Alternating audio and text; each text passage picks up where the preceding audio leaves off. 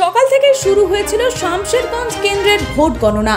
ইতিমধ্যে চব্বিশ round vote গণনা শেষে যে ফলাফল উঠে আসছে, সেখানে দেখা যাচ্ছে শামশেরগঞ্জে তৃণমূল পেয়েছে ছিয়ানব্বই হাজার একশো কুড়িটি ভোট, কংগ্রেস পেয়েছে সত্তর হাজার নটি ভোট, বিজেপি পেয়েছে দশ হাজার সাতশো সাতাত্তরটি ভোট, সিপিআইএম পেয়েছে ছ হাজার একশো পঁয়তাল্লিশটি vote.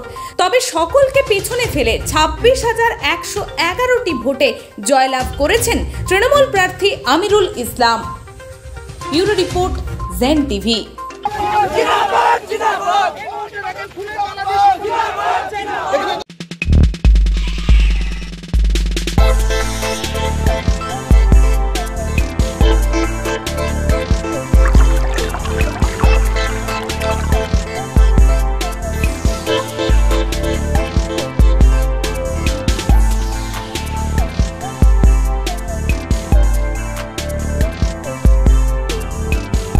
Aqua Active Gold with added mineral, Active Pure, Active Raho.